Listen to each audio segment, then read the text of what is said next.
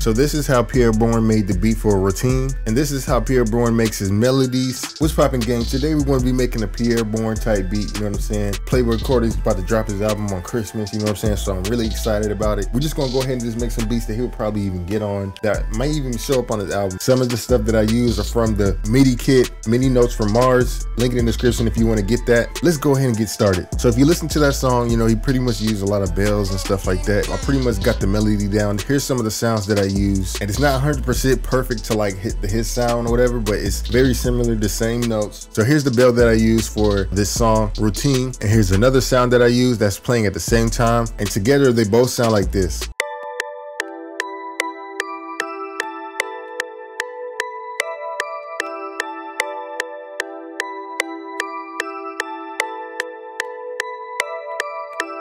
Super simple. Not a lot of sounds in this beat, you know what I'm saying? I didn't go crazy or whatever. Or he didn't go crazy in, in that song, you know, with the beat. The next sound that I used was uh, this French strings. I, I wanted to get that Pi'erre Bourne French horn sound, you know what I'm saying? But this is the closest I can get. So let's hear real quick.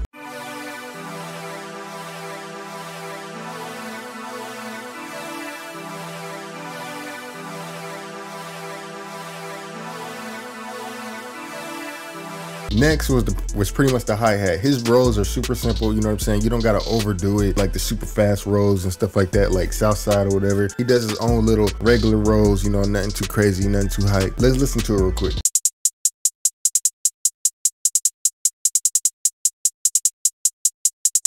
All right, so next was the clap, and pretty much like with his claps, use a regular clap, but what I like to do is make sure I high pitch it up so it, it'd be a little bit higher.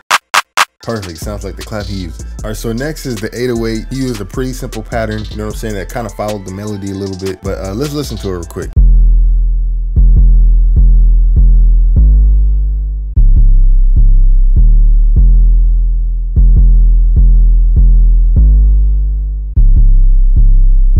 And with all the sounds together, it sounds like this.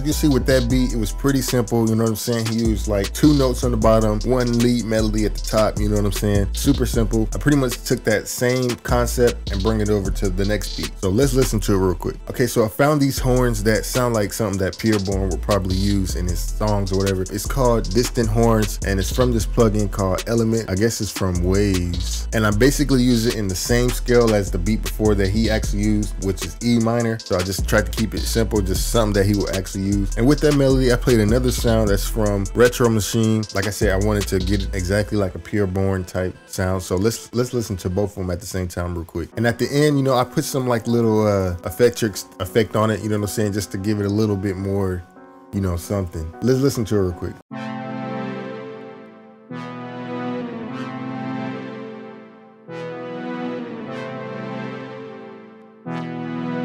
So next I use this funky bass type sound thing going on, you know what I'm saying? Here's the plugin that I use, super simple. Let's listen to it real quick.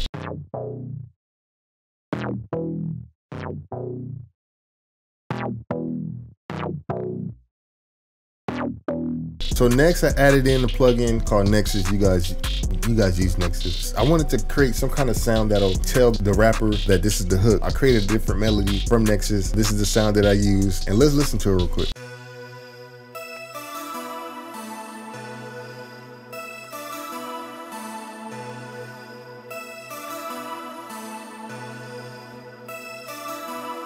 So that was just something that just to add for the hook part, you know what I'm saying? Just so you can tell which one is the verse and which one's not, you know, just to give it a little bit more bounce as well. I took that same melody and added it to another instrument, you know what I'm saying? So when the verse plays, you can tell like, all right, this is the verse, you know what I mean? So those sounds were for one from Nexus, it was like Chill Zone, Chill Zone 2. And then I added another instrument from Element 2, the distant horns. I just feel like this is a perfect Pi'erre Bourne preset, you know what I'm saying? So uh, we just played those together and this is what it sounds like.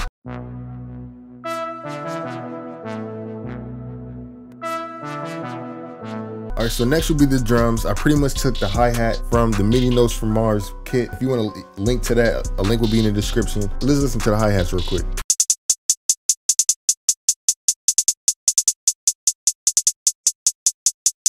Super simple. I just clicked and dragged it in, you know what I'm saying? Nothing crazy. I did the same thing with the clap, just made it higher. Let's go ahead and go on to the 808. So with the 808, I pretty much used two, but one of them was the main one, was like the Pierre Bourne, you know, uh, Zaytoven type 808, you know what I'm saying? Look, look you know, that type of 808. But I, then I mixed it with another 808 just to like on the bottom end, just give it some more rumble. It's real low, but uh, let's listen to it real quick.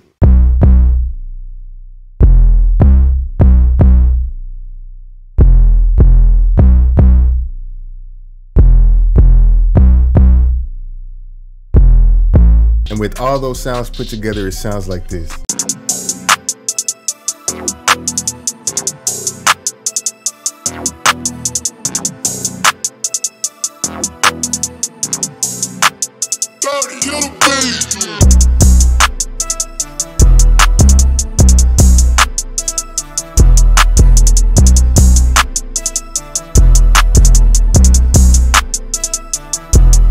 All right, so next, I pretty much made another beat, you know, with those same tips again, like I said. Yeah, so I wanted to really just go in with those same tips. But this next beat, I pretty much used this sound right here, Defeat EP, Hong Kong Strings, and Tokyo Pluck. So with all these sounds together, I basically put it in the same scale, E minor. I added the chord set to it, you know what I'm saying? So it's still those notes that's playing at the bottom, you know what I'm saying? So let's hear real quick.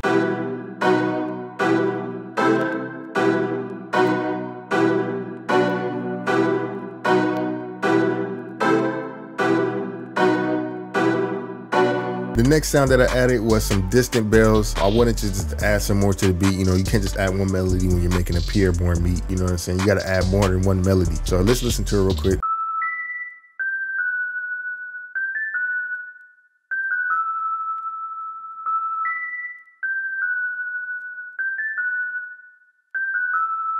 And that sound was really more for the hook, you know what I'm saying? Only when the hook plays, that sound is going to be playing. So for this next sound, it's more like a counter melody for the main sound. It can be played throughout the, the verse, the hook. Let's listen to it real quick.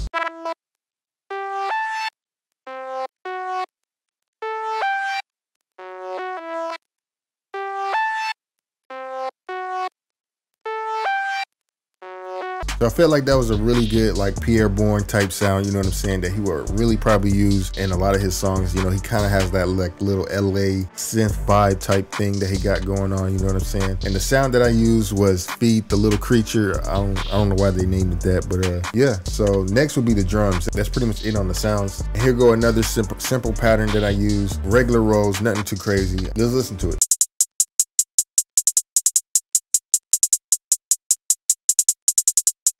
Simple bounce. I did the same thing with the clap, just pissed it up a little bit. Same thing with the 808 where I just used two 808s, one for a lower note, you know what I'm saying, just to get that little low rumble, and then uh, the, the classic Zaytoven 808.